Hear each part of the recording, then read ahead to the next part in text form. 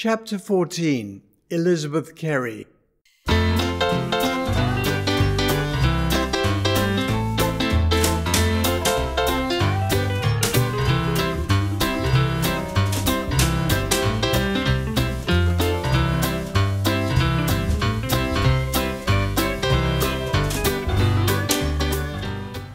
I saw her first when she waited on me one Saturday evening, Wisdom said. I'd been wondering how it would be if I just attacked a total stranger.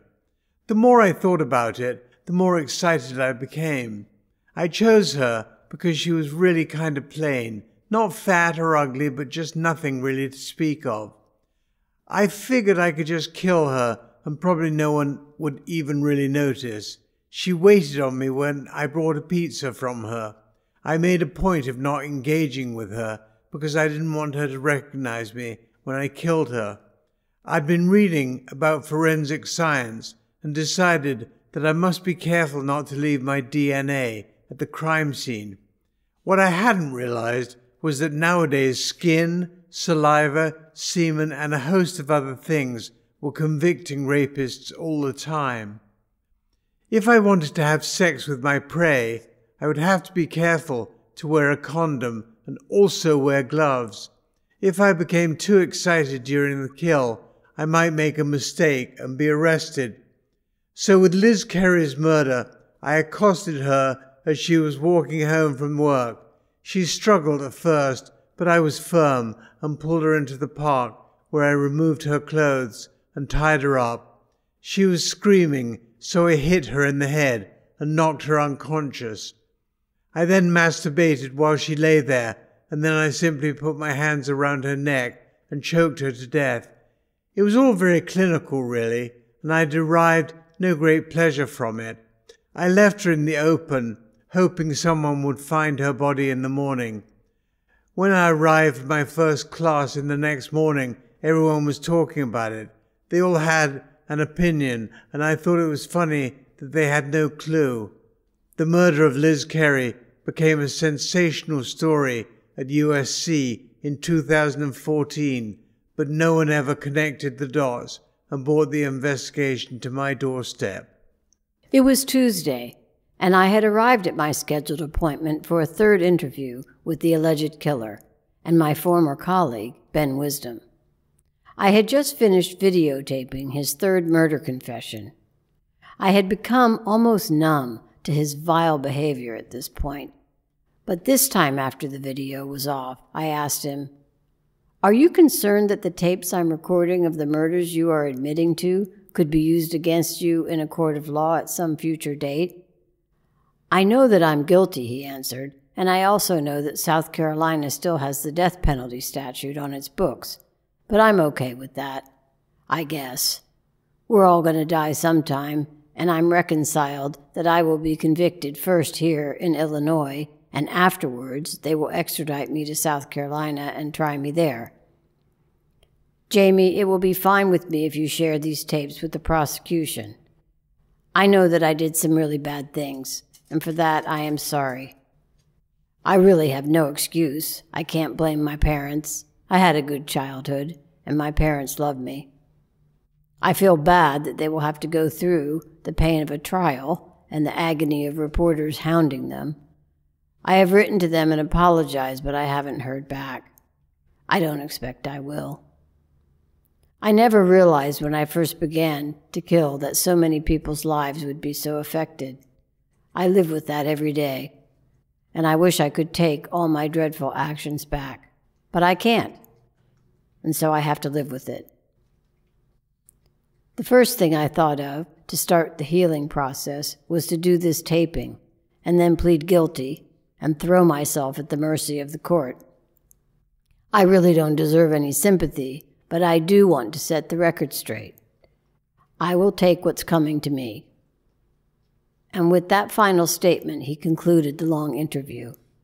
He stood up, signaling for the guard to take him back to his cell. And as he walked to the door, he half turned and gave me a smile. I had just started to drive home when I thought to myself, well, it was a bit easier than the last time, but the guy is a total lunatic. I couldn't wait to see the sun again.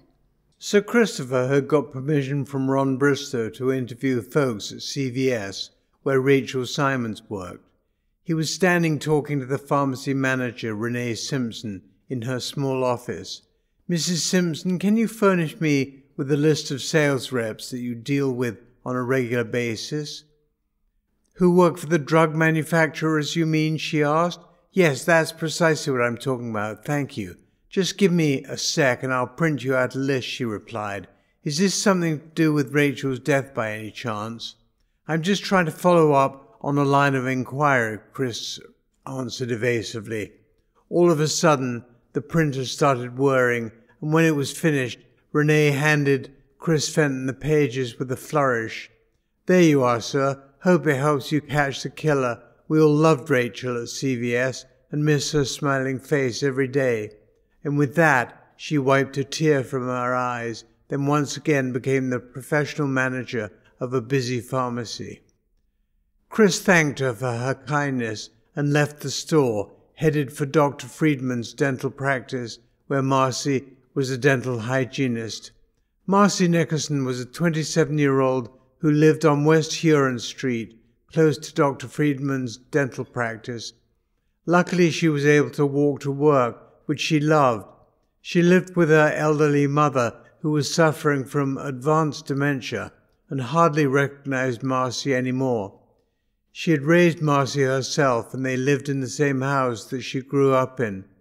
A few years earlier, Mrs. Nickerson had started to become forgetful, so they sent her to a GP who sent her for tests which came back with the diagnosis of early onset dementia. It advanced rapidly, but Mrs. Nickerson transferred ownership of her home into her daughter's name while she was still able to. Marcy fought her on it, but finally acquiesced when she realized that her dear mum's mind was slipping away fast. The irony of that situation was that because Marcy was murdered, the house reverted back to being owned by her mother, who outlived her. Chris Fenton arrived at Dr. Friedman's office and introduced himself to the receptionist and explained that he was following up on the investigation and would be grateful if they could provide him with the names of the sales reps who visited the dental practice every month. The receptionist scurried away and a few minutes later returned with a harried looking man in a white coat who identified himself as Dr. Friedman. Good morning, Dr. Friedman. My name is Sir Christopher Fenton, and I'm investigating the unfortunate murder of Marcy Nickerson, who worked here, I understand. I'm following up on a lead and would be grateful if you'd be willing to furnish me the names of medical drug company drug reps that deal with your practice. You don't think that they might have been involved in any way, do you? Friedman asked. No, it's most unlikely but if we can get their names, then we can eliminate them from our inquirers. Yes, of course, that makes sense. Let me have my office manager print out the list for you. Do you have a few minutes to wait? the doctor asked. Yes, indeed. I'll be happy to wait. And Dr. Friedman shook his hand, barked an order at his office manager, and disappeared back to his inner sanctum. A few minutes later, a young lady appeared from behind the screen with several pages of typed names and handed them to Sir Christopher. Here you go. I hope you catch the SOB that, that did this to dear Marcy. She was such a sweet lady. Chris Fenton nodded his thanks and walked to the door. His final stop was to Dr. Kern's medical practice, where Claudia Beckett had been the receptionist. Chris walked in and introduced himself, and a moment later was ushered into the private office of Dr. Kern. As Chris walked in, Dr. Kern stood up from behind a big desk and advanced towards him, smiling and extending his hand. Sir Christopher, how nice to meet you. I followed your exciting exploits in the Chicago Clarion when you brought down the dreadful man Richard Madigan last year. I was enthralled by the way you handled that case, and now here you are in my office, I'm fairly certain that I know why you've come, but let me ask you anyway. And he gave a knowing grin.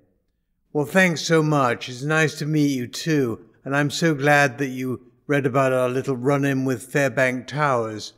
It seems ages ago now, but the reason I'm here is because of Claudia Beckett's murder. I'm following a lead whereby I would like to get a list of names from you of drug company sales reps that visit you on a regular basis. Would that be possible? Do you think one of the reps is involved then? That would be awful. But yes, of course, I'll have the new girl print out the list for you. Can I offer you a cup of coffee while you wait? Or something stronger if you'd prefer? Chris declined and they chatted for a few more minutes, and Dr. Cohen seemed genuinely interested in Chris's life. Chris liked him enormously, and after the girl gave him the printout, Chris shook Dr. Cohen's hand and thanked him for his kindness.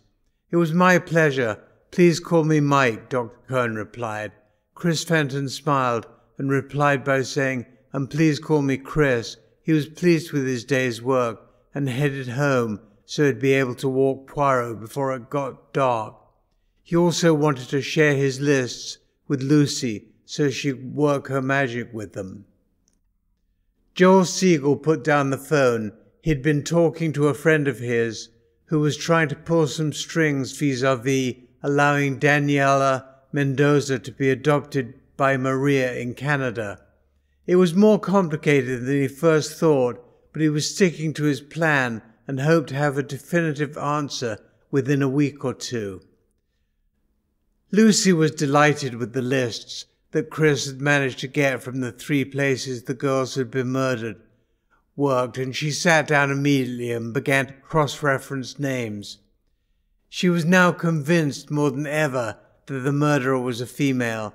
The more she thought about it, the, the likelier it became. There was no evidence of rape on any of the women, but there was a lot of evidence of brutality and anger, and if the killer was enjoying inflicting the pain, all three women had been tortured with cigarette burns to multiple areas of their bodies, and it was obvious they had been kept alive for hours. What the intention was, other than to kill a human being, Lucy had no clue. And the more she thought about it, the more confused she became. Finally, she decided she'd had enough and decided some R&R was needed. Lucy had heard Jamie come back from work a little while before, and she wondered if she would like to drive over and pick up some Indian food to go. She went in search of Jamie and found her drunk as a skunk, lying on the sofa with her eyes closed. Hi, darling, how are you doing? she began. But Jamie just groaned and turned over. Are you feeling okay? Lucy could smell the booze from way across the room. She got no answer. Lucy went and found Chris. He was in his office, and she asked him if he had a moment. Of course I do, Lucy. What can I do for you? I'm worried about Jamie. She's lying on the couch and she's drunk. You know, I don't care if someone ties one on now and then, but I think these interviews she's doing with Ben are tearing her apart. I've known her pretty much all my life, and I've never seen her like this before. It's like she's been in a war zone when she comes back after each interview, and I'm sensing it's getting worse and worse. Chris thought about it for a second and then said, I've been planning on asking you both for a while now, but we've all been so busy recently that I stuck it on the back burner. I'm going to spend Christmas at Clivemore this year and wanted to invite you both to join me if you'd like. I know it's a few months away, but if Jamie was able to get away completely and forget about Ben Wisdom and just enjoy Christmas, I think that might do her a power of good. What do you think? Wow. Well, I can only speak for myself, but Chris, I think spending Christmas with you and Jamie will be simply wonderful. Jamie talks so fondly of the last time we all went to visit the UK. I think it would do her an immense amount of good. Let's not tell her until she's sober, though, and they both laughed. They then walked into the living room and told her loudly that they were heading out to get a curry from the Bombay house and Jamie waved her hand and said she'd put dishes out on the table. Poirot looked like he wanted to go with them, so the three of them hopped in Lucy's car and drove across town. As Lucy drove, Chris called their order in, and 20 minutes later, they were driving back to the flat, armed with two orders of chicken tikka masala, one order of vindaloo curry, three naan bread, and a delicious saag. Poirot loved Indian food, but tended to prefer vegetarian, so Chris bought him his own vegetarian dish called chana masala, which is chickpea, onion, garlic, ginger, and cilantro, which was now his favorite dish. When they arrived home, Jamie had been good as her word and had set the table. Lucy dove in and put all the food on the table, and Chris pulled a cork and poured him and Lucy a glass of wine. Jamie decided to drink water, which both of them were pleased about, and they sat down and dug into the gastronomic feast. Poirot wolfed his meal, and when he was finished, he lay down contentedly under the table. Jamie was digging into a second plate of chicken tikka masala when below her wafted a scent that she now knew so well. In unison, they all laughed and once again said, Oh, Poirot. After a few minutes, I began to speak. My experience of having to listen to a madman pontificate on how and why he killed has clearly been bothering me, and I needed to vent to people I trusted. I told them how Ben Wisdom would get aroused as he recited what he had done to these poor women, and I found it was all I could do to hold myself back from ripping his eyes out. I was so revolted by this man, but had to remain calm if I was to write a series of articles about his crimes and make certain that I had every detail he was willing to share. But it was hard. I told Chris and Lucy that I had found solace in the bottle but was now realizing that I must keep my head on straight if I were to do justice to my public. We sat and chatted long after dinner was finished, and both Lucy and Chris made me appreciate that while the crimes of Ben Wisdom were taking all my time right now, in the large picture, it was just an annoying piece of dust to be flicked into the dustbin of life. Our chat that Friday night helped me greatly and by the time I went to bed, I was back to my usual positive, cheery self, albeit with a headache. Thank God for good friends. Thanksgiving was just three weeks away, and I had invited my parents to visit Chicago and spend it with us. I had booked them into the Holiday Inn where my friend Terry Hall had been staying on the night he was tragically killed last year. I still thought of him often and wondered how things might have progressed had he survived. Now, almost a year later, my parents were coming to stay for Thanksgiving, and I decided to concentrate on that rather than wallow in self pity. The night before, at dinner, Chris Fenton had said that he'd love to invite me and Lucy to Clivemore House in the UK for Christmas. He had already spoken with Pete Shack, the owner of Sense of Smell Farm, who had agreed to have Poirot visit him for a week while we all celebrated Christmas in Buckinghamshire. I told him I'd love to go, and for the first time in several weeks regained a spring in my step. Lucy was equally excited, and we chatted about riding horses and having long, lazy evenings with a big fire roaring in the hearth. Christmas at Clivemore House was exactly what we needed. The next morning was Saturday, I didn't have to go into work, and Chris and Lucy had a fluid schedule. Lucy was woken up to Poirot's whining. She opened her eyes to see him standing by the window, looking out with a confused look on his face. Lucy suddenly realized and said, Oh, Poirot, you're so silly. That's snow you're looking at. As she looked out of the window, the snow was flying everywhere, and she remembered Poirot, who was still only a few months old, had never seen snow in his life.